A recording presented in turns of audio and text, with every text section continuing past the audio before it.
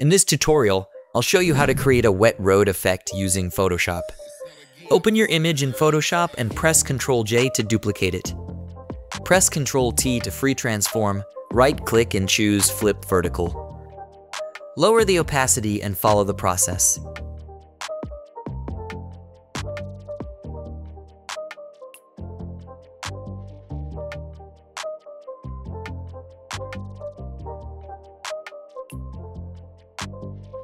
Press enter. Bring back the opacity to 100% and hide the layer. Add a solid color adjustment layer and set it to black. Create a new layer. Go to Filter, Render and choose Clouds. Go to Filter again, Render and choose Difference Clouds. Select the two top layer and lower the opacity.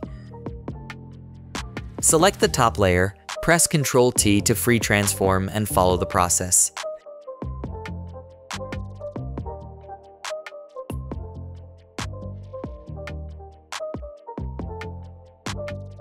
Select the two top layer again and bring back the opacity to 100%. Select the top layer and press Ctrl plus Alt plus Shift plus E. Hide these layers.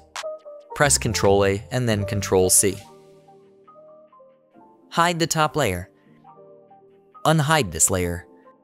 Add a layer mask. Press Alt plus left click on the mask. Press Ctrl V. Press Alt plus left click on the mask. With the mask selected, press B and remove the effect on the car. Make sure the foreground color is set to black.